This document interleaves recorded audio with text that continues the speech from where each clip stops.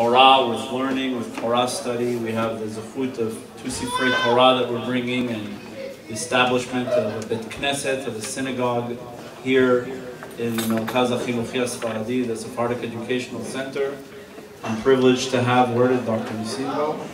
Before Dr. Nessim. The founder of uh, the Sephardic Educational Centers and Miyased HaMakom HaZeh Merkaz Dr. Nessim, ואשתו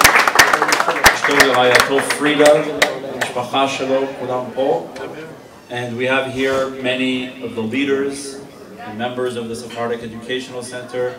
How appropriate that in this week that we've gathered together rabbis, community leaders from Los Angeles, from New York, to study Torah a week, to also bring Torah into the community, into the uh, Sephardic Educational Center. So we're very honored and pleased and thrilled to be celebrating tonight, and we hope, we know it will be a beautiful celebration. This is a great zechut to complete the Sefer Torah and to bring it in. Uh, we want to recognize a number of wonderful uh, guests who are here, a lot of distinguished rabbis that I don't know, so they'll have to be introduced, but the rabbis that I do know who are here from Los Angeles, uh, my good friend Rabbi Ben Zaken, my good friend Rabbi Villarreal, my new good friend, my doctor, Rabbi Abadi, uh, who else we have here? Rabbi uh, Chaim Levi, who's here.